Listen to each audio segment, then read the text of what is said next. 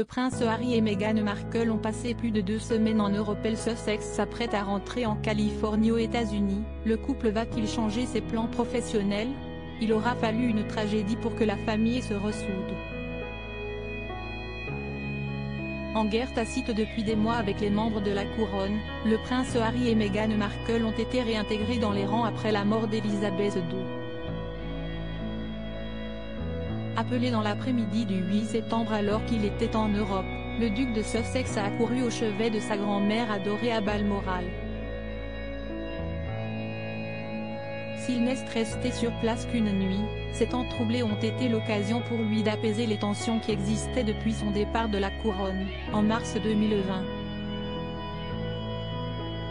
Comme son rang le veut, et malgré le ressentiment nourri par certains de ses proches, le prince Harry a été de plusieurs engagements après la mort d'Elisabeth II.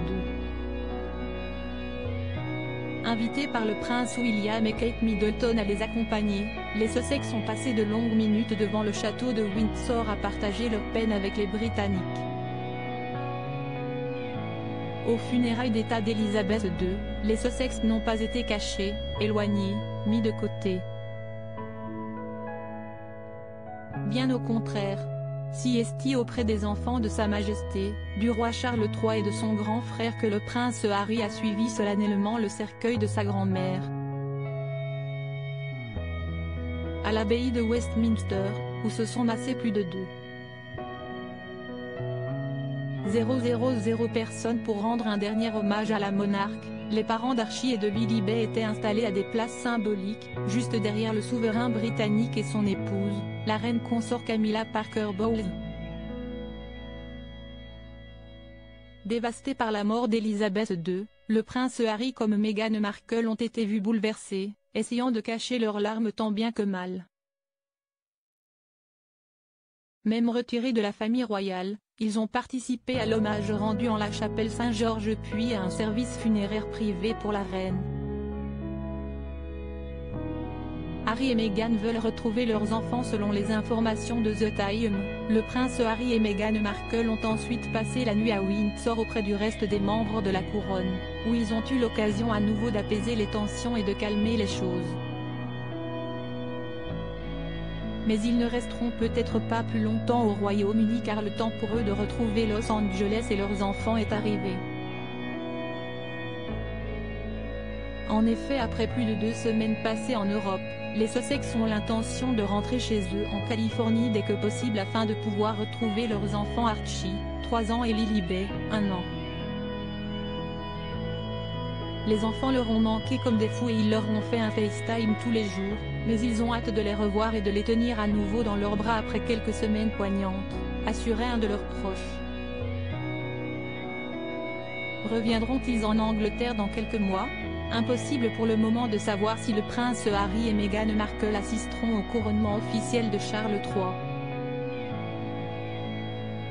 Impossible de savoir non plus si les Sussex ont réussi à combler le fossé qui les séparait de la couronne pour redevenir des membres plus importants. Si ces hypothèses restent pour le moment peu probables, il est plus évident que les Sussex reprennent leur vie californienne et leurs engagements personnels.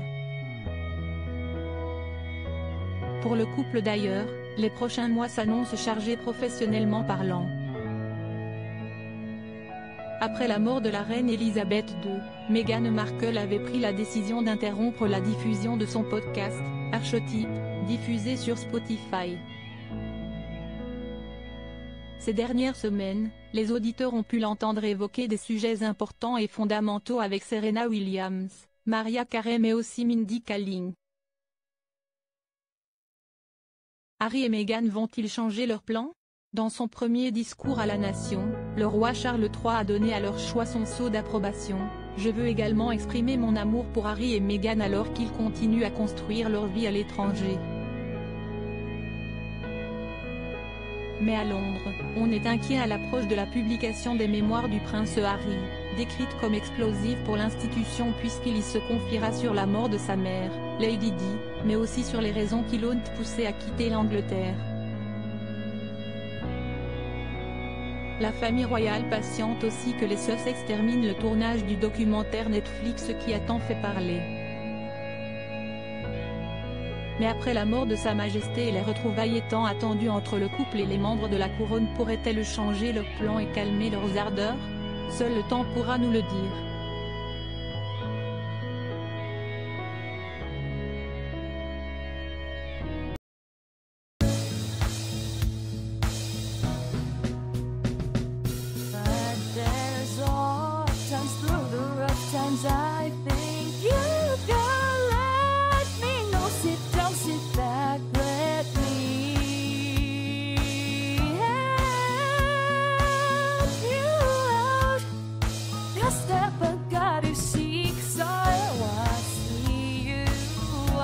占有。